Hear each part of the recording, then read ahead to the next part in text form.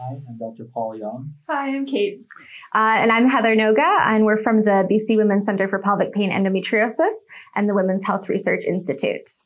Often, menstruation is considered a taboo subject, which leads women to experience discrimination, shame, confusion, and fear. Although normal, sometimes it comes with symptoms that are not normal. Severe pain, for instance, might mean the presence of endometriosis, a disease that affects 1 in 10 women around the world.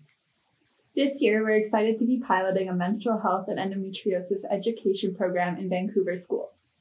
Greater gender balance would mean that everyone, including men, women, and non-binary people, feel comfortable speaking about menstruation. So if there is a medical problem, it can be treated in a timely manner.